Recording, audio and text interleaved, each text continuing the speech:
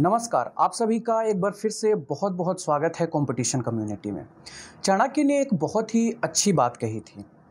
चाणक्य ने कहा था कि जो शिक्षा आपको समय और अनुभव से मिलता है, वो शिक्षा आपको किसी और माध्यम से नहीं मिल सकता। और उन्होंने ये भी कहा था कि एक समझदार व्यक्ति वही होता है, जो असफल व्यक्ति से कुछ सीख कर आगे बढ़ता है और वह जल्दी सफल हो जाता है। और चाणक्य जी ने ये भी कहा था कि सफल और असफल व्यक्तियों को, यानी कि दोनों ही प्रकार के व्यक्ति को आपको सुनना चाहिए। क्यों? क्योंकि सफल व्यक्ति से आपका आत्मविश्वास बढ़ता है और असफल व्यक्ति से आपको बहुत कुछ सीखने को मिलता है। क्यों? क्योंकि असफल व्यक्ति कौन सी ऐसी गलतियों की वजह से सफल नहीं हो पाए तो आपको ये भी जानने को मिल सकता है। तो आज हम जिस शख्सियत से आपको मिलवाने वाले हैं, उन्होंने कई असफलताएँ देखी और उन असफलताओं के बाद आज वो एक बहुत ही सक्सेसफुल इंसान है। और आज इस सेशन में आपको इनसे बहुत कुछ सीखने को मिल सकता है। हम बात कर रहे हैं और आज आपको मिलवाने वाले हैं कवि गुप्ता सर से। तो सर, इस सेशन में सबसे पहले आपका बहुत बहुत स्वागत है। पहले तो मैं ये आपको बता दूँ कि इस इंटरव्यू सेशन का मकसद क्या है? तो अगर आप बिगनर्स हैं या फिर बार बार असफल हो रहे हैं और आप सफल होना चाहते हैं तो इस सेशन को आपको शुरू से लेकर अंत तक ज़रूर देखना चाहिए और इसे बहुत ध्यान से ही फॉलो कीजिएगा। ये बात मैं इसीलिए कह रहा हूँ क्योंकि कई ऐसे एग्ज़ाम्पल हैं जो सफल और असफल व्यक्ति को सुनकर या फिर उनसे सीख कर कई लोग आज सफल हुए हैं। तो कवि सर से आज आपको मिलकर बहुत कुछ जानने को मिलेगा, इनकी जर्नी कैसे रही। इन्होंने, आप विश्वास नहीं करोगे, इन्होंने तीन टाइम्स यूपीएससी का मेंस एग्जामिनेशन दिया है। फोर टाइम्स इन्होंने C G P S C exam को क्रैक किया है और इतने ही टाइम्स यानी कि फोर टाइम्स इन्होंने एस एस सी भी क्रैक किया है। तो इनके पास में एक बहुत ही लंबा अनुभव है। तो आप इनसे सीख कर इन इनसे कुछ टिप्स लेकर आप भी एक सफल व्यक्ति बन सकते हो। कवि सर एक बार फिर से आपका बहुत बहुत स्वागत है। थैंक यू तो शुरू करते हैं। सबसे पहले सर आप अपने बारे में कुछ बताएँ। मैं कवि गुप्ता वर्तमान में पुलिस मुख्यालय में एडिशनल एसपी के रूप में पदस्थ हूँ। इस पद पे मेरा सिलेक्शन 2008 की पीएससी के माध्यम से सन 2013 में हुआ था। इस पद में आने से पहले मैं आ, 2006 से 8 तक एनएसएसओ में स्टैटिस्टिकल इन्वेस्टिगेटर रहा और 2008 से 13 तक 2013 तक मैं सीएजी में असिस्टेंट ऑडिट ऑफिसर रहा। ये दोनों पोस्ट जो मुझे मिले थे ये एसएससी एग्ज़ाम के थ्रू मुझे मिले। जी। कुल मिलाकर के यदि अपने कॉम्पिटिटिव एग्ज़ाम की जर्नी की बात करूँ मैं तो मैंने कुल मिलाकर के पाँच बार मुझे एसएससी में फ़ाइनल सिलेक्शन चार बार पीएससी में फ़ाइनल सिलेक्शन और तीन बार यूपीएससी मेंस लिखने का मुझे मौका मिला। जी। सर जैसे आपने बताया आपने तीन टाइम्स यूपीएससी मेंस लिखा और उसके बाद आपने फोर टाइम्स सी क्रैक किया।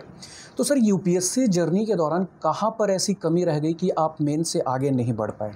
सबसे पहले तो आ, मैं ये बताऊँ कि आ, मैं एक बहुत ही औसत दर्जे का स्टूडेंट था। 2003 में मेरा ग्रेजुएशन कंप्लीट हुआ और इसके बाद मैंने ये ठाना कि मुझे अब कुछ अपने लाइफ में करना है। मैं एक छोटी सी नौकरी करता था पुणे में, डेटा एंट्री ऑपरेटर की। और उसी बीच में मुझे ये लगा कि मैं अपने जो मुझे शिक्षा मिली है, जो मेरे पेरेंट्स ने मुझे इंग्लिश मीडियम में पढ़ाई करवाई, सीबीएसई में मेरा बोर्ड रहा और इतनी अच्छी मेरी एजुकेशन हुआ। इसके साथ मैंने जस्टिस नहीं किया है। उसके बाद से मैंने ठाना कि मुझे यूपीएससी का एग्ज़ाम लिखना है और उसके बाद से मैं यूपीएससी की तैयारी करना स्टार्ट किया। लेकिन चूँकि मेरा जो फाउंडेशन था जी। नींव था वो स्ट्रॉन्ग नहीं था बहुत ज़्यादा स्ट्रॉन्ग नहीं था तो उसके कारण मुझे काफ़ी स्ट्रगल करना पड़ा। वो एक रीज़न बना कि मुझे यूपीएससी में सिलेक्शन नहीं मिल पाया फाइनली दूसरा रीज़न मैं जो समझता हूँ कि मुझे मैं चूँकि एक मध्यम वर्गीय परिवार से आता था और मेरे सामने बाकी स्टूडेंट्स की तरह ही सोशल प्रेशर पीयर प्रेशर भी था कि जल्दी से अब जॉब करना है, बच्चा क्या कर रहा है। तो ये प्रेशर इतना ज़्यादा था कि मुझे ऐसा लगता था कि यूपीएससी की तैयारी होती रहेगी लेकिन इसके साथ ही साथ जो है एक कोई एग्ज़ाम कोई भी नौकरी मिल जाए मुझे, शासकीय नौकरी मिल जाए तो भी मेरे लिए एक अचीवमेंट होगा। तो लगातार जॉब करता रहा और गोल जो मेरा अल्टीमेट था उससे बीच बीच में वो डेविएशन होता रहा। मैं आपको आनंद जी एक ऐसा वाक्य बताता हूँ जी सर कि जीवन के एक क्षण में मेरे पास पीएससी मेंस भी था और यूपीएससी मेंस था। जबकि पीएससी मेंस मैंने ऑलरेडी पहले क्वालिफाई कर लिया था लेकिन पीएससी में भी एक ऐसा मुझे आ, मन हुआ कि मुझे पीएससी को टॉप करना है। तो उस कारण मैं पीएससी को भी नहीं छोड़ पाया और यूपीएससी भी दिया। तो मुझे लगता है वो एक अहम गलती मैंने कर दी। शायद उस समय मैं अगर यूपीएससी का चुनाव करता तो शायद मैं वो वो एग्ज़ाम क्रैक कर पाता। तो इस तरीके से एक तीसरा फैक्टर ये भी था कि सही मार्गदर्शन मुझे अपने समय पे नहीं मिल पाया। इस कारण भी मैं यूपीएससी क्रैक नहीं कर पाया। और ये अपने आप में एक बहुत बड़ी बात है कि तीन टाइम आपने यूपीएससी का मेंस लिखा उसके बाद फोर टाइम्स आप सी को क्रैक कर चुके हैं। आ, सर मेरा अगला सवाल आपसे ये है कि बहुत सारे एस्पिरेंट्स ऐसे होते हैं कि जैसे उनका बैकग्राउंड अलग अलग होता है सिविल सर्विसेज़ में आने वालों का हम्म। कोई इंजीनियरिंग बैकग्राउंड से होता है कुछ आर्ट्स कुछ कॉमर्स बहुत सारे बैकग्राउंड्स के होते हैं हम्म।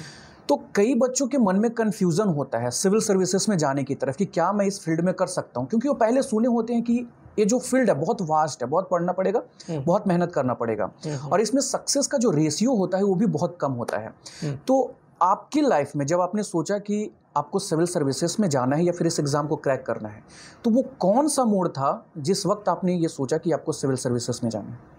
जैसे कि अभी मैंने बताया कि आफ्टर ग्रेजुएशन में पुणे में डेटा एंट्री ऑपरेटर का जॉब कर रहा था और उसी समय मुझे एक दिन एहसास हुआ कि मैंने मुझे जितनी पढ़ाई और रिसोर्सेज मुझे मेरे ऊपर इन्वेस्ट किया गया मेरे पेरेंट्स द्वारा उसके साथ मैंने जस्टिस नहीं किया है पूर्णतः। और यही वो क्षण था जब मैंने यूपीएससी की ओर अपना कदम बढ़ाया और तैयारी सर हर वो एस्पिरेंट्स जो सोचता है कि मुझे सिविल सर्विसेज़ में जाना चाहिए या मुझे यूपीएससी का प्रिपरेशन करना चाहिए या सीजीपीएससी का करना चाहिए स्टेट सर्विसेज़ का कोई भी एग्जामिनेशन हो सकता है। हम्म।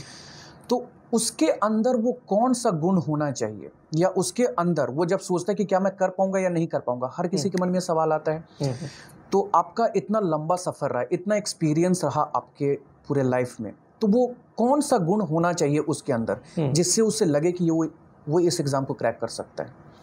बहुत सही सवाल आपने पूछा आनंद जी। आ, एक जो बेसिक ट्रेट मैं बताना चाहूँगा जो एक एस्पायरेंट में होना चाहिए वो है जिज्ञासा। जिज्ञासा।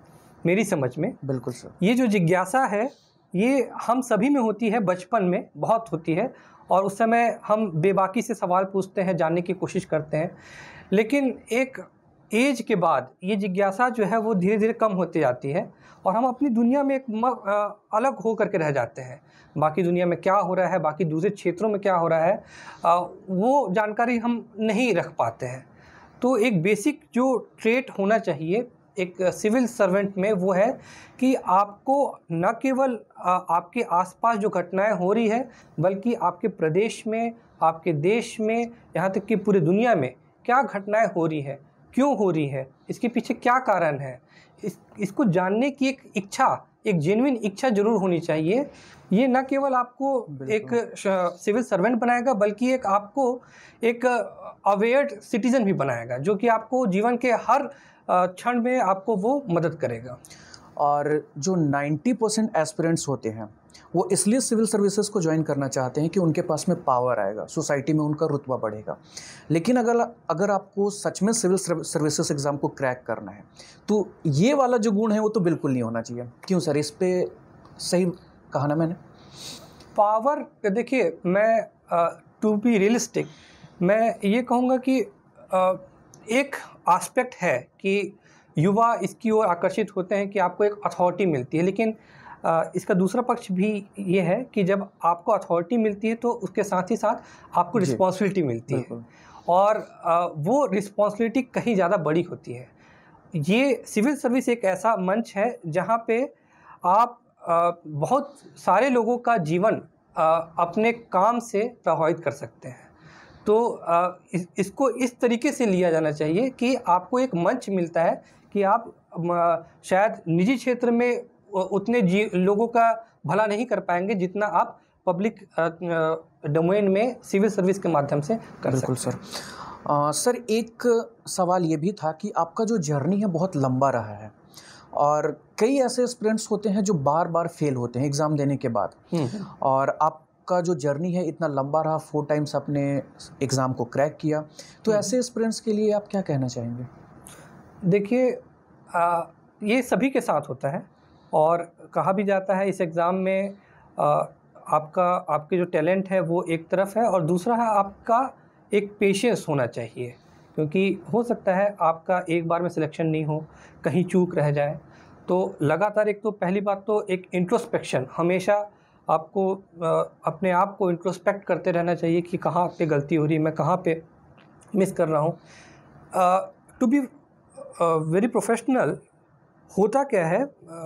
एस्पेरेंट्स के साथ कई कई बार इस इनफैक्ट इस चीज़ से मैं भी गुज़रा हूँ। एग्ज़ाम के डिफरेंट चरण हैं। एक है प्रीलिम्स एक है मेंस और तीसरा इंटरव्यू हम कभी कभी चुनाव गलत कर जाते हैं। कभी कभी हमारा जो प्रीलिम्स का हैंगओवर है इतना ज़्यादा हो जाता है कि हम प्रीलिम्स एक्सपर्ट हो जाते हैं लेकिन मेंस जो है टोटली ओवरलुक हो जाता है।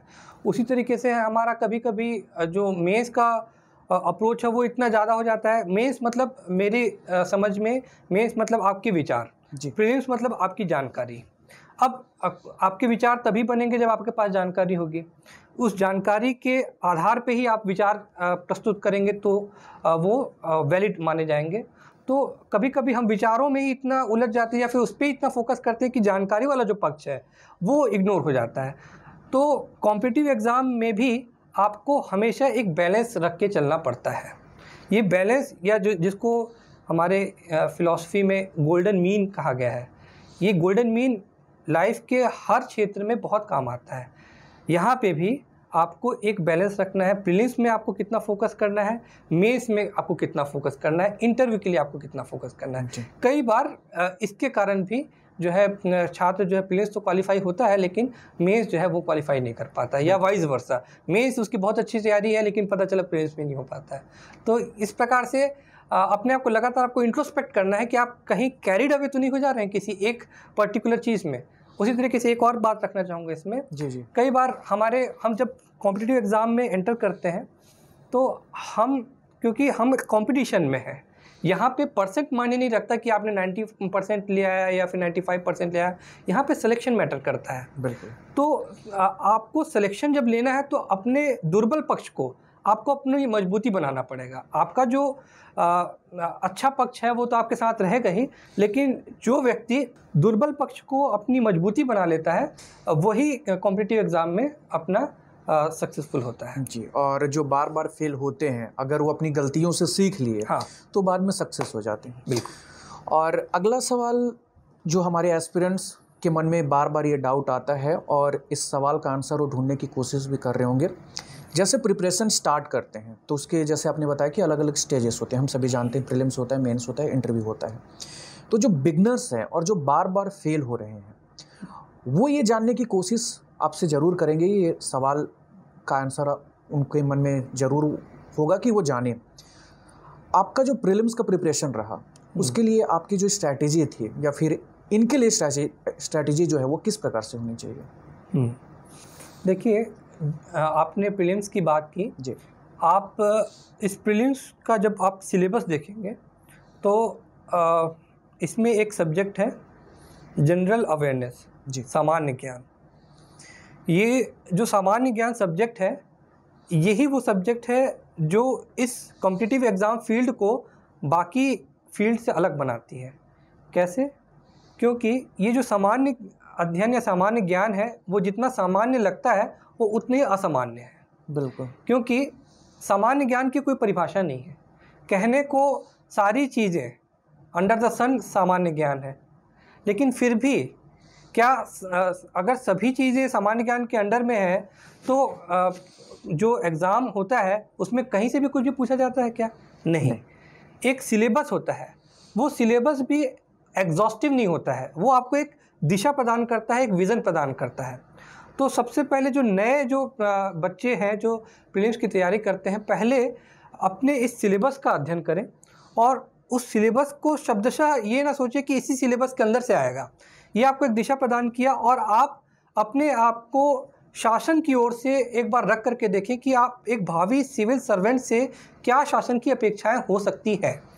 इसको आप अगर अच्छे से मनन कर लें तो आपको दिशा खुद ब खुद आपको मिल जाएगी। इसके बाद आप जो एक जैसे मैंने बात की एक रुचि डेवलप कीजिए कि आपके प्रदेश में क्या हो रहा है देश में क्या हो रहा है दुनिया में क्या हो रहा है ये रुचि क्रिएट करके आप अपना जनरल स्टडीज़ का की तैयारी स्टार्ट करना तैयारी कीजिए। साथ ही साथ एक चीज़ और भी मैं बोलूँगा जो पीएससी के स्टूडेंट्स हैं उनके लिए कि पीएससी के जो विद्यार्थी हैं वो भी कई बार ये पज़ल हो जाते हैं कि ये सवाल कहाँ से आ गया? तो उनके लिए ये मैं बोलूँगा कि पीएससी की तैयारी केवल आइसोलेशन में पीएससी को ही रख करके करेंगे तो हो सकता है आप कभी सरप्राइज़ हो जाएँगे क्वेश्चंस देख करके। इस वजह से ये ज़रूरी है कि पीएससी का जब तैयारी कर रहे हैं तो यूपीएससी को भी आप ज़रूर देखें। उसके सिलेबस का भी अध्ययन करें और यूपीएससी में जिस प्रकार के क्वेश्चंस आ रहे हैं, उनका भी अध्ययन करें। ताकि आपको ये समझ में आएगा कि अल्टीमेटली uh, पीएससी और यूपीएससी शासन का ही पार्ट है। बड़े रूप में शासन की क्या अपेक्षा है? प्रदेश लेवल पे शासन की क्या अपेक्षा है? तो एक आपका जो आउटलुक है वो ब्रॉड होगा और आपको सही आ, आ, अपना दायरा पता चलेगा। में आपको पता चल पाएगा कि आपको क्या करना तो है। हाँ तो इस वजह से आपको ये जो सामान्य अध्ययन है इसको सामान्य तरीके से समझने के लिए ज़रूरी है कि आप अपना हॉरिजन एक डिफ़ाइन करें पता करें कि कहाँ कहाँ तक क्वेश्चन पूछा जा सकता है। और उसके बाद एक रुचि लेकर के सारे प्रकार के क्वेश्चन जो आ चुके हैं, वहाँ पर अपनी तैयारी रखें। प्लस साथ ही साथ जिस प्रकार से क्वेश्चन और आ सकते हैं, उसकी भी तैयारी करें। अगर इन सभी रणनीतियों को ध्यान में रख करके तैयारी की जाए तो मुझे लगता है प्रीलिम्स में कभी आपको कोई दिक्कत नहीं कोई दिक्कत नहीं आएगी। तो सही बात है कि मतलब जो आपका प्रिपरेशन का जर्नी है पूरा उसका जो पहला सीढ़ी है वो है आपका सिलेबस तो सिलेबस को जितना जितना बेहतर तरीके से आप समझ पाएँगे आपको उतना आसानी होगा आपको एग्ज़ाम क्रैक करने में। प्रिलिम्स की बात हो गई इसके बाद बढ़ते हैं मेंस की तरफ़ क्योंकि छत्तीसगढ़ में एक धारणा है। कि जब भी बच्चा शुरू करता है तो वो प्रिलिम से करता है। हम्म। क्या ये कॉन्सेप्ट सही है कि प्रिलिम से शुरू करना चाहिए या हम्म। फिर इस कॉन्सेप्ट पे फोकस करना चाहिए कि नहीं पहले मेंस से शुरू करते हैं क्योंकि मेंस जब वो शुरू करेगा तो उसका प्रिलिम्स का सिलेबस तो सेवेंटी से एट्टी परसेंट ऐसे ही कवर हो जाएगा। इस पर सर आप क्या सुझाव देना चाहेंगे? बहुत अच्छा सवाल आपने पूछा आनंद जी। देखिए मैं पुनः अपनी बात को रखूँगा। मेरी समझ में प्रिलिम्स का आशय है जानकारी। जी। मेंस का आशय है विचार और उसकी अभिव्यक्ति मेंस और इंटरव्यू अब जैसे मैंने पहले ही बताया कि आपको आपके विचार रखने के लिए अगर जब तक आपकी, आपके पास जानकारी या तथ्य नहीं हो तो वो विचार आपके पुख्ता नहीं माने जाएँगे। इस वजह से ये ज़रूरी है कि सबसे पहले जानकारी इकट्ठी की जाए। इसी वजह से एग्ज़ाम में भी प्रीलिम्स रखा गया है जो कि ऑब्जेक्टिव बेस होता है मेंस रखा गया है जहाँ पे आपको अपने विचार को व्यक्त करना रहता है और इंटरव्यू रखा गया है जहाँ पे साक्षात रूप से आपको अपने विचारों को प्रकट करना होता है। तो ये सही है कि सबसे पहले आप किसी क्षेत्र में प्रवेश कर रहे हैं तो उस पूरे क्षेत्र के बारे में जानिए, उस फ़ील्ड के बारे में जानिए। Know your universe. आप उस कॉम्पिटिटिव एग्ज़ाम में किस प्रकार से कहाँ तक क्वेश्चन आ सकते हैं, कहाँ तक आपको मेहनत करना है, कितने प्रकार से आपको जानकारी इकट्ठा करना है उसको जानिए। इसके लिए प्रेरेंस आपकी सहायता करेगा। आपको वो एक हॉरिजन देगा बताएगा कि आपको यहाँ तक अपनी जानकारी रखना है। दुनिया के बारे में इतना चीज़ जानना है देश के बारे में ये चीज़ जानना है और प्रदेश के बारे में और इतनी सारी चीज़ें जानना है। ये जानकारी आप इकट्ठा करेंगे प्लेयर्स की तैयारी करते जाएँगे तो आप एक ऐसे स्तर पर पहुँच जाएँगे जहाँ पर आप महसूस करेंगे कि अब आप प्रीलिम्स की तैयारी करते करते आप मेंस की तैयारी भी कर सकते हैं। मतलब उसके बाद उस लेवल के बाद आप प्रीलिम्स की तैयारी तो कर रहे होंगे, लेकिन आपका टारगेट होगा मेंस का सिलेबस तो इस तरीके से एक स्तर के बाद सबसे पहले तो आपको प्लेन्स की तैयारी करना है, जब एक कॉन्फिडेंस आपको आ जाएगा और ये भी पर्सन टू पर्सन आप डिपेंड करता है उसको कब लगता है कि हाँ अब मेरा प्रीलिम्स की तैयारी खत्म हो चुका है, अब मैं मेंस की ओर बढ़ सकता हूँ। तो प्रीलिम्स में रहते हुए ही वो मेंस को टारगेट कर सकता है। इस प्रकार से प्रीलिम्स की तैयारी जो है, आप मेंस को टारगेट करते हुए कर सकते हैं। बिल्कुल। तो सर, यहाँ पर अगर वो प्रिलिम से शुरू करे हम्म। और धीरे धीरे स्टेजेस पे जाए जब वो तो कई बार ऐसा होता है कि वो प्रिलिम्स का प्रिपरेशन करता है हम्म। उसका प्रिलिम्स क्रैक हो जाता है। हम्म। उसके बाद मेंस के लिए उसके पास में टाइम नहीं बचता है तीन से चार महीने का वक्त होता है। तो क्या प्रिलिम्स का जब वो प्रिपरेशन कर रहा है तो उसी वक्त वो मेंस का कर सकता है? दोनों को साथ लेकर चल सकता है? देखिए प्रिलिम्स जब एक एस्पिरेंट देता है प्रिलिम्स से पहले तक का उसके पास कोई टाइम लिमिट नहीं रहता है। क्योंकि आप एक साल पहले से ही प्रीलिम्स की तैयारी स्टार्ट कर सकते हैं दो साल पहले से भी कर सकते हैं। हाँ ये ज़रूर है कि प्रीलिम्स का एग्ज़ाम और मेंस के एग्ज़ाम के बीच में टाइम लिमिट रहता है। हो सकता है आपको तीन महीना भी मिले हो सकता है छः महीना मिले ज़्यादा से ज़्यादा। तो ये बहुत अ, अ, मतलब कई बार हमारे मन में आता है कि किस प्रकार से अपनी तैयारी रखना है। तो मैंने पहले भी जैसे आपको बताया कि आप स्टार्टिंग में जब आपका माइंड फ्री है जब हो सकता है वैकेंसी भी नहीं आई है आपको पता है एक साल बाद वैकेंसी आने वाली है उस समय आपका माइंड जब फ्री है तो आप without thinking of anything else आप स्टार्ट कीजिए प्रीलिम्स से केवल। केवल आप प्रीलिम्स की तैयारी कीजिए पाँच छः महीने इसमें आपकी बहुत सारी चीज़ें आएँगी। इससे आपको ये पता चलेगा कि कहाँ तक क्वेश्चन प्रीलिम्स में प्लस मेंस में कहाँ तक क्वेश्चन पूछा जा सकता है। ये दायरा तय हो जाएगा। इसके बाद आपको एक अनुभव मिलता जाएगा।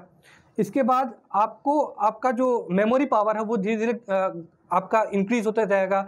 आपको क्या छोड़ना है क्या पढ़ना है किस पे कमांड रखना है दुनिया में बहुत सारी घटनाएँ घट रही है। लेकिन किन घटनाओं पे आपको अपनी दृष्टि रख, रखनी है कहाँ से क्वेश्चन आ सकता है ये जो जजमेंट है ये जो एक्सपीरियंस है वो धीरे धीरे आता है। तो ये जो छः महीने का पीरियड है आप इसमें अपना फाउंडेशन जो आपने दसवीं बारहवीं तक पढ़ाई किया है उस फाउंडेशन को भी इम्प्रूव करेंगे ठीक है? तब जब आप सारी चीज़ें ये सब कर लेंगे तब आप एक कॉन्फिडेंस वाले लेवल पर पहुँच जाएँगे जहाँ पे आप ये डिसाइड कर सकते हैं कि यहाँ से अब मुझे प्रीलिम्स को ही फोकस करना है या फिर हम मेज़ को कर सकते हैं। तो आइडियल कंडीशन में शुरुआत के कुछ महीने आप केवल प्रीलिम्स पे फोकस कीजिए इसके बाद एक स्तर पे जब आपका कॉन्फिडेंस पहुँच जाता है उसके बाद प्रीलिम्स में रहते हुए भी आप मेंस की प्रिपरेशन कर सकते हैं बिल्कुल। अ, सर आपकी जो मेंस के लिए स्ट्रैटेजी थी हाँ। वो आपने किस प्रकार से अपनाया यानी कि आपका जो तरीका था मेंस हम्म। का प्रिपरेशन करने का वो कैसा था? जैसे मैंने अभी बताया था कि प्लेन्स में रहते हुए ही हम्म। जब दो तीन महीने बचे थे प्लेन्स के तो ही आ, तब भी मेंस की तैयारी चल रही थी। और जिस समय प्रीलिम्स एग्ज़ाम हुआ जी। जब भी हम प्रीलिम्स एग्ज़ाम देते हैं तो एक इंट्यूशन एक आ जाता है कि मेरा सिलेक्शन हो रहा है या नहीं हो रहा है। आपको अगर लगता है कि हाँ मेरा हो सकता है नहीं भी हो सकता है या हाँ हो ही जाएगा ये दोनों स्थिति में आपको मेज़ की तैयारी करनी ही है। बिल्कुल सही। अब चूँकि आपने प्रीलिम्स के समय भी थोड़ा सा मेंस का आपने तैयारी कर लिया है अब समय ये आ जाता है कि अब उसी तैयारी को आप अपने रिटर्न फॉर्म में अब स्टार्ट करें। मतलब आपने जानकारी तो पूरी इकट्ठा कर ली मेंस के हिसाब से। अब समय आ जाता है मेंस जैसे आप प्रीलिम्स का एग्ज़ाम देते हैं कि आप उसी चीज़ों को शब्दों में लिखना स्टार्ट करें। जी। मेंस में आप देखेंगे कि कई प्रकार के क्वेश्चंस होते हैं। मेंस में very short short type of questions भी होते हैं मीडियम लेंथ क्वेश्चंस भी होते हैं और लॉन्ग टाइप आंसर्स वाले क्वेश्चंस भी होते हैं। इन तीनों प्रकार के क्वेश्चंस में आपकी स्ट्रेटजी अलग अलग होती है। जहाँ पे वेरी शॉर्ट और शॉर्ट टाइप ऑफ़ क्वेश्चंस में आपको टू द पॉइंट और जानकारी परख आंसर लिखना होता है वहीं मीडियम और लॉन्ग टाइप आंसर्स में आपके पास एक थोड़ा स्पेस होता है जहाँ पे अपने विचारों की भी अभिव्यक्ति कर सकते हैं। खास तौर पे लॉन्ग टाइप ऑफ़ आंसर्स में आप एक उसका इंट्रोडक्शन दे सकते हैं बॉडी लिख सकते हैं और अपने कुछ विचार, मौलिक विचार जो आप पाते हैं उस पूरे मुद्दे पर आपका क्या विचार बनता है वो लिख सकते हैं और उसके बाद एक कंक्लूजन पे आ सकते हैं। तो इस प्रकार से आप मेंस की तैयारी कर सकते हैं। सर, अभी जो 2019 से जी वाले जो भी एस्पिरेंट्स हैं उनका इंटरव्यू है। हाँ। और सितंबर के पहले वीक से स्टार्ट है। तो उनके लिए सवाल खासकर बहुत ज़रूरी हो जाता है कि इंटरव्यू के लिए रणनीति किस प्रकार से होनी चाहिए। हम्म। देखिए सबसे पहली बात तो आनंद जी मैं बताऊँ कि इंटरव्यू की कोई रणनीति नहीं होती है। एक दृष्टि से अगर देखा जाए इंटरव्यू एक तरीके से आपने जो अभी तक आपकी जो पर्सनालिटी डेवलप हुई उसकी फाइनल कन्फर्मेशन है। जो आपके विचार जो बने आपने जो जानकारी इकट्ठा की आपने उस चीज़ उन चीज़ों को प्रीलिम्स और मेंस में अवगत करा ही दिया अब फाइनल उसकी अभिव्यक्ति है साक्षात्कार जिसे बोला जाता है वो है। तो साक्षात्कार अब अभी तक क्योंकि एस्पिरेंट जो था वो अ, केवल रिटर्न फॉर्म में एग्ज़ाम में अपियर हो रहा था। प्रीलिम्स में भी अ, उसे कुछ बोलना नहीं पड़ा जो भी उसके विचार है उसको उसने अपने आंसर शीट में उतारा मेंस में भी वैसे ही किया। अब आपको अवसर दिया जा रहा है कि आप अपनी बात को आप रख सकते हैं। जी। तो इंटरव्यू को भी इसी तरीके से लेना चाहिए कि आपके पास सारी चीज़ें हैं। सारा ज्ञान है आपका ज्ञान परखा जा चुका है आपके विचार परखे जा चुके हैं। अब आपको इसकी अभिव्यक्ति करनी है। तो ये जो अव्यक्ति वाला जो जो एस्पेक्ट है इसके लिए ज़रूरी होता हो जाता है कि जैसे ही आपको पता चलता है कि आपका इंटरव्यू आने वाला है आप कोशिश कीजिए कि ज़्यादा से ज़्यादा आप अव्यक्त करें अपने आप को। बिल्कुल सर। इसके लिए ज़रूरी नहीं है कि आप आईने के सामने या इंटरव्यू देते हुए तैयारी करें। अगर मिलता है तो बहुत अच्छी बात है लेकिन एक एस्पिरेंट खुद से भी बात कर सकता है। आपको बस ये इंश्योर करना है कि आपके विचारों में स्पष्टता हो। ख़ास तौर पे ये होता क्या है कि हम सोचते तो हैं लेकिन जब वो बोलने की बारी आती है तो हम उस तरीके से नहीं बोल पाते जैसा हमको बोलना चाहिए या फिर जैसा हमने सोच के रखा है। तो इस गैप को दूर करने के लिए सबसे अच्छा माध्यम है कि आप प्रैक्टिस करें। लगातार लगातार जब आ, मेरा जब मेंस का रिज़ल्ट आया उसके बाद जब मुझे पता चला कि मेरा इंटरव्यू है तो मैं खुद से बात करना स्टार्ट कर दिया। इवन रात को भी अपने आप से ही बात करता था और आवाज़ निकाल करके बात करता और एक बेहतर तरीका होता है जब इंसान खुद से बात करता है तो वो जितना खुल पाता है वो दूसरों के सामने दूसरे के सामने कोई आपको जज नहीं करता कोई जज नहीं करता तो अगर आप गलती भी करते हैं तो आप सुधार सकते हैं। तो ये बेहतर तरीका है कि आप खुद से प्रिपरेशन करें खुद बोलिए आईने के सामने तो आईने के सामने बोलिए दोस्तों के साथ बोलिए जितना हो सके बोलिए। मैं तो ये कहूँगा जितना हो सके आप अपने आप को अव्यक्त कीजिए। अच्छा आज के ज़माने में तो हमारे समय में we were not that much lucky कि हमारे पास बहुत कुछ टूल्स होते थे। आज के ज़माने में बहुत अच्छे अच्छे ऐप्स आ गए हैं। मैं आपको बताऊँ आनंद जी एक क्लब हाउस करके एक ऐप है। वहाँ पे जितने भी अभी प्रासंगिक मुद्दे हैं वहाँ उस पर बहस होती है। तो एस्पिरेंट चाहे तो इस प्रकार के नए टेक्नोलॉजी का भी आ, उसका उपयोग कर सकता है उससे फ़ायदा ले सकता है। क्लब हाउस में क्योंकि अब आपको जाने की ज़रूरत नहीं फिजिकली आप आप कोई किसी मुद्दे पर अपनी विचार रख सकते हैं।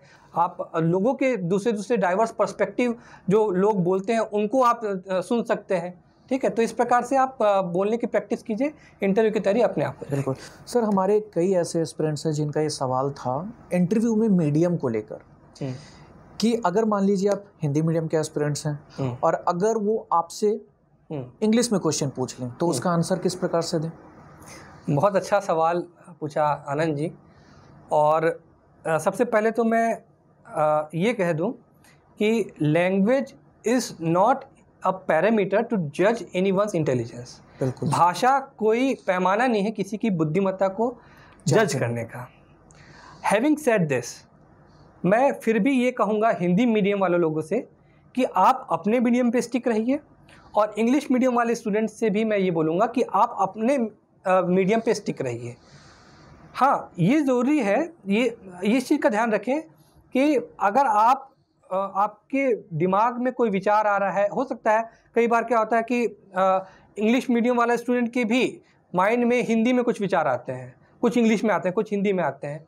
तो वहाँ पे ये मैटर नहीं करता कि वो किस लैंग्वेज में बात कर रहा है किस मीडियम में बात कर रहा है। वहाँ पे ये मैटर करता है कि वो क्या बात कर रहा है। वो क्या बात कर रहा है वो मैटर करता है। तो language is a secondary thing but अगर कोई इंग्लिश मीडियम वाला ये सोच रहा है कि आ, नहीं मैं अंग्रेज़ी में अगर बोलूँगा तो क्या उसका इंप्रेशन बनेगा या मुझे नहीं बोलना चाहिए? तो ये गलत है। अगर आपको जिस भी लैंग्वेज में कंफर्टेबल आपको लगता है आपके दिमाग में थॉट्स किस लैंग्वेज में किस मीडियम में ओरिजिनेट हो रहे हैं उस लैंग्वेज में आप अपनी बात रखिए। अगर आपने जैसा सवाल पूछा कि अगर कोई हिंदी मीडियम वाला स्टूडेंट है उसके सामने अंग्रेज़ी में आ, उसको सवाल पूछा जाता है अगर उस वो सवाल उसको समझ में आ जाता है तो उसका चाहे वो जवाब बिल्कुल हिंदी में दे सकता है। अगर उसको सवाल समझ में नहीं आता है तो वो जो बैठे रहते हैं जो इंटरव्यू लेने वाले सर लोग उनसे भी पूछ सकता है कि सर कृपया इसका हिंदी में मुझे बता दें मैं हिंदी माध्यम से आता हूँ। वो हम्म। कभी भी इस चीज़ का बुरा नहीं मानेंगे कि इसको ये चीज़ समझ में नहीं है समझ नहीं आता। और ईमानदारी वहाँ पर अगर आप जितना दिखाओगे उतना आपके लिए बेहतर होगा। अगर आपको हिंदी आती है तो हिंदी में जवाब दें। अगर आपको इंग्लिश में आती है तो इंग्लिश में आप दें। जैसा आपको कंफर्टेबल फील होता है आप वहाँ पर बिल्कुल अपने आप को एडजस्ट कर सकते हैं। सर अगले पड़ाव की तरफ़ बढ़ेंगे। जैसे हम अभी मीडियम की बात कर रहे हैं तो एक धारणा बनी हुई है खासकर छत्तीसगढ़ में अगर स्टेट सर्विसेज़ की बात करें तो धारणा ये है कि हिंदी मीडियम वाले जो एस्पिरेंट्स हैं हम्म, हम्म। वो इस एग्ज़ाम को जल्दी क्रैक कर सकते हैं और इंग्लिश मीडियम वालों को यहाँ पर कम प्रेफर दिया जाता है। तो ये जो धारणा है क्या ये सही है? मैं समझता हूँ इसमें कोई सच्चाई नहीं है। और बल्कि मैं यही कहना चाहूँगा देखिए इसी तरीके की धारणा यूपीएससी में बनी हुई है जस्ट Opposite. अपोजिट डायरेक्ट धारणा है कि वहाँ पे अंग्रेज़ी माध्यम वालों को प्राथमिकता मिलती है हिंदी माध्यम वालों को कम मिलती है। इस बात में कोई भी सच्चाई नहीं है। ये नोन ट्रूथ है कि ये मैटर नहीं करता कि आप किस मीडियम से आप अपनी बात रख रहे हैं। आप क्या बात रख रहे हैं वो मैटर करता है पहली बात। ठीक है दूसरी बात कई बार मैंने देखा कि जैसे पीएससी की का एग्जांपल लें यहाँ पे कुछ अंग्रेज़ी मीडियम वाले हैं ज़्यादातर हिंदी माध्यम वाले हैं। इनका बाहुल्य है हिंदी माध्यम वालों का। तो ऐसे में कोई इंग्लिश मीडियम वाला स्टूडेंट ये सोचता है कि सारा मटेरियल हिंदी में मिल रहा है क्लासेस हिंदी में हो रहे हैं ठीक है? और यहाँ तो हिंदी चलती है तो मैं क्या अंग्रेज़ी अपनी रखूँ या ना रखूँ? मुझे क्या कैसे ट्रीट किया जाएगा? आ, कहीं ये मेरे अगेंस्ट तो नहीं चला जाएगा? मैं उन अंग्रेज़ी मीडियम वाले स्टूडेंट्स से बात कहना चाहता हूँ कि don't give up your medium never never give up your medium आपके पास जो एक एज है, आपका आपका जो मीडियम इंग्लिश क्योंकि हिंदी तो आपको भी पत आती है। एक हिंदी मीडियम वाले स्टूडेंट को भी आती है। आपके पास एक एज है इंग्लिश है।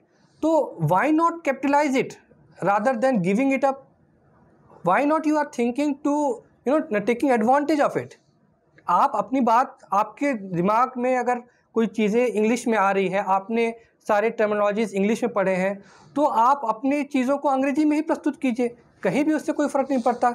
Ultimately at the end of the day what is going to make a difference is how you are going to speak it what you are going to speak तो कहीं भी ऐसा कुछ नहीं है कि आ, मतलब कोई एग्ज़ाम हिंदी में ही होता है या फिर कोई एग्ज़ाम इंग्लिश में मतलब कोई भी आपका मीडियम हो वो बैरियर नहीं हो सकता। अगर आप जिस लैंग्वेज में कंफर्टेबल हैं उस लैंग्वेज में आगे बढ़िए। और ये आपके डेडिकेशन के ऊपर में डिपेंड करता है कि आप उस लक्ष्य की तरफ़ कितनी मेहनत से आगे बढ़ो या फिर आपका जो लगन है वो किस प्रकार से मैटर ये करता है। तो लैंग्वेज कोई बैरियर नहीं हो सकता। सर कई सारे एस्पिरेंट्स ऐसे हैं जो अभी वर्तमान समय में कहीं ना कहीं जॉब कर रहे हैं लेकिन वो सिविल सर्विसेज़ का प्रिपरेशन करना चाहते हैं। हाउस वाइफ ही हो सकती हैं। उनका कहना यह है कि जॉब करने के बाद या घर का काम करने के बाद सिर्फ़ चार से पाँच घंटे उनके पास मिलते हैं। तो क्या इस इतने वक्त में एग्ज़ाम को क्रैक किया जा सकता है? अगर मैं अपनी बात करूँ तो मैंने सारे जो एग्ज़ाम्स क्रैक किए वो भी जॉब में रहते हुए ही किए हैं। पहली जॉब मेरी 2006 में लगी। उसके बाद फिर भी मैं लगातार एग्ज़ाम्स क्रैक करता रहा। तो सारे एग्ज़ाम्स मैंने जॉब में रहते हुए क्रैक किए हैं। और आप मैं ही नहीं बहुत सारे एग्जाम्पल्स हैं। सारे बहुत सारे एग्जाम्पल्स हैं जहाँ पे लोग जो है हाउस वाइफ रह करके भी या फिर कोई जॉब में रह करके भी एग्ज़ाम क्रैक करते हैं। इनफैक्ट मैं इस चीज़ को ऐसे लेता हूँ कि ये जो जॉब में रहना इसको आप दो दृष्टि से देख सकते हैं। एक दृष्टि तो ये है देखने का कि अरे आपके पास समय कम मिलता है। दूसरा दृष्टि है इसको देखने का कि आपके पास कुछ तो है। एक ऐसा कॉम्पिटिटिव एग्ज़ाम का एस्पिरेंट जिसके पास कुछ भी नहीं है उसके कंपेरिजन में आपके पास कुछ तो है एक ऑक्यूपेशन है। तो आप जो आप आपका समय आप देंगे वो क्वालिटी इतने टाइम देंगे। आप जो चार घंटे में पढ़ेंगे आपको बस ये फोकस करना है कि जो आप चार घंटे जो पढ़ाई कर रहे हैं उसमें क्वालिटी हो वो वो प्रोफेशनल अप्रोच हो। तो अगर आप इस तरीके से आप देखेंगे तो आपका जो जॉब वाला एस्पेक्ट है, वो भी आपके फेवर में जाएगा। क्योंकि आपके दिमाग में कोई प्रेशर नहीं रहेगा कि आपके पास कुछ नहीं है। आपके पास हमेशा एक प्लान बी रेडी रहता है। तो ये उल्टा आपको और कॉन्फिडेंस दिलाता है कि अरे जो होगा होगा, मेरे पास तो एक एग्ज़ाम है, मैं विदाउट फियर जो है जो है इस एग्ज़ाम को आपके पास में बैकअप बना हुआ है तो आप फ्रेश माइंड से पढ़ सकते हो और जैसा मैं मैंने पहले भी आप लोगों से कहा है कि कोई मैटर नहीं करता आप जॉब में हो आप हाउसवाइफ हो अगर आपका गोल क्लियर है आपका टारगेट क्लियर है तो आप बिल्कुल अचीव कर सकते हो। हाँ जैसा सर ने बताया कि मैटर ये करता है कि जितना आपके पास में समय है या फिर जो भी आपको वक्त मिलता है चार घंटे पाँच घंटे हम्म। उसे आप किस प्रकार से यूटिलाइज कर रहे हैं? क्या बेहतर तरीके से कर रहे हैं या ना कर रहे हैं? डिपेंड इस पर करता है। सर इसके बाद जो मेरा अगला सवाल है कि यह एक लंबा सफ़र है। जो प्रिपरेशन का दौर है वो एक साल का भी हो सकता है दो साल का भी हो, हो सकता है। तो इस बीच में कई सारे चैलेंजेस आते होंगे। Family challenges hmm. भी आते होंगे पर्सनल चैलेंजेस भी आते होंगे प्रिपरेशन को लेकर भी चैलेंजेस आ सकते हैं। तो ऐसे बीच में कभी कोई एस्पिरेंट्स फ्रस्ट्रेट भी हो जाता होगा। हम्म। कई समस्याओं का सामना भी करता होगा। हम्म। तो ऐसे वक्त में चैलेंजेस से कैसे बाहर निकला जाए? बहुत सही सवाल पूछा आनंद जी। और ये हम सभी जो एस्पिरेंट्स होते हैं, ये इस जब दौर से जब गुजरते हैं जब हमारे पास कुछ नहीं रहता, केवल हम तैयारी करते रहते हैं तो बहुत सारे चैलेंजेस आते आते हैं। और बाद में जब सिलेक्शन हो जाता है तो उस, जब हम उस पीछे मुड़ के जब देखते हैं तो यही वो पीरियड हमको याद आता है। तो सब, जैसे आपने चैलेंजेस की बात की तो सबसे पहला जो चैलेंज होता है, जो चुनौती आती है आफ्टर ग्रेजुएशन सामाजिक एक प्रेशर होता है सभी सभी के लिए होता है चाहे वो लड़की हो या लड़का हो सभी के लिए होता है कि आपका जो बच्चा है वो ग्रेजुएशन के बाद कर क्या रहा है ठीक है? अब जब पेरेंट्स ये बताते हैं कि ये तैयारी कर रहा है तो या तो बहुत ज़्यादा उम्मीदें पाल लेते हैं अरे अब तक सीधे कलेक्टर बन जाएगा या फिर अभी तक पर तैयारी कर रहा है। सोशल चैलेंज हाँ तो ये जो सोशल एक्सपेक्टेशन है वो उसको सोसाइटी से बहुत ए सोशल बना देती है। एंटी सोशल तो नहीं ए सोशल बना देती है। वो फेस नहीं कर पाता आ, सभी के सामने स, अपने रिलेटिव्स के के फ़ंक्शंस में जा पाता क्योंकि तैयारी भी करना है फिर पूछेंगे कि अभी तक पढ़ी रहे हो क्या हुआ क्या नहीं हुआ। तो एक तरीके से कॉम्पिटिटिव एग्ज़ाम की जो तैयारी करते हैं वो एक अपनी एक दुनिया में खो जाते हैं। कई कई बार जो है वो इतना ज़्यादा खो जाते हैं कि वो डिप्रेशन के शिकार हो जाते हैं। ऐसी स्थिति में इस प्रकार के जो सामाजिकता वाले जो चैलेंज है इससे ओवरकम करने के लिए बहुत ज़रूरी है कि एक सही पीयर ग्रुप और एक सही गुरु का होना बिल्कुल। एक मार्गदर्शन का होना। वो आपका जो एक पीयर ग्रुप होगा जो आपकी आपकी जो कंपनी होगी उसके साथ आप अपनी हर वो चीज़ें शेयर कीजिए जो आप अपने रिलेटिव्स के साथ शेयर करते या फिर और कहीं शेयर करते तो आप उस एक दायरे में रह करके आप अपनी सारी चीज़ों को शेयर कीजिए। सारे कभी आपको लगता है इंटरटेनमेंट करना है तो आप उन उसी के साथ आप कभी मूवी में जाइए। मूवी में भी कुछ सार्थक चीज़ें निकालिए। देखिए कॉम्पिटिटिव एग्ज़ाम की जो तैयारी होती है वो केवल किताबों तक सीमित नहीं है। एक चीज़ मैं ये बोलना चाहूँगा कि ये सोते समय भी आपकी तैयारी है जगते समय भी तैयारी है पेपर पढ़ते समय भी तैयारी है इंटरटेनमेंट करते हुए तैयारी है। जब आप अपने दोस्त से गप मारते हैं तब भी तैयारी है। आप केवल उस दिशा में सोचिए कि आपको एक जो है अपनी जानकारी लगातार बढ़ानी है और साथ ही साथ आपको अपना मनोरंजन भी करना है, आपको अपनी तैयारी भी करनी है। तो आप इस प्रकार का जो ए सोशलाइजेशन वाली जो स्थिति आती है, उससे आप उभर के आएँगे। तीसरा एक चैलेंज होता है जॉब का चैलेंज कि वो हमको लगता है कि जॉब मिल जाए, जॉब मिल जाए, क्योंकि फाइनेंशियल प्रॉब्लम्स भी आने स्टार्ट हो जाते हैं। लड़कियों के सामने कभी कभी वो शादी का प्रेशर रहता है और वो नेचुरल है। तो मैं इसमें ये कहना चाहूँगा कि जब तक आपको ऐसा लगता है कि एक फ्री स्पेस आपको मिला हुआ है आपके पेरेंट्स जहाँ तक कंफर्टेबली आपको आ, आपके खर्चे को वहन कर सकते हैं और आ, आपकी परिस्थितियाँ आपको अनुमति देती है आप वहाँ तक अपने एक फ्री स्पेस में तैयारी कीजिए। जब आपको लगता है कि हाँ अब वैसी स्थिति नहीं है तो वो जो नेचुरल प्रोसेस है, जैसे किसी की शादी हो रही है, ठीक है, किसी को कोई जॉब भी करना है तो उससे घबराइए मत, ये ना सोचिए कि अब मैं जॉब करूँगा तो पढ़ नहीं पाऊँगा या मेरी शादी होगी तो मैं नहीं पढ़ पाऊँगी।